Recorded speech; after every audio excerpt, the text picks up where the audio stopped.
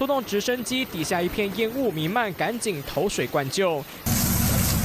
地面上也有消防人员布水线，高雄内门山林火警延烧至今已经第五天了。十二号下午第一起火点就位于八军团田单营区弹药库附近六百公尺处，一度引发紧张。而火势灭了之后又复燃，随着风向往东吹，已经跳燃到山林区旗山区，燃烧面积大约两百八十四公顷。有里长就表示，附近受到波及可能有四五十户。差不多，差不多四五十户。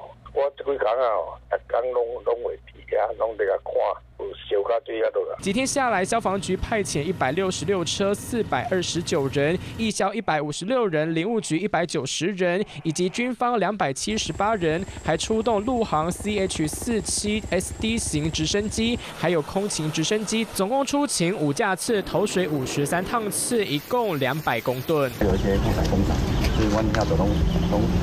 而高雄市政府十六号上午成立紧急应变中心，由市府消防局、农业局、警察局、环保局、民政局等单位进驻。而市长陈其迈也责成消防局和民政局，必要时刻要撤离居民。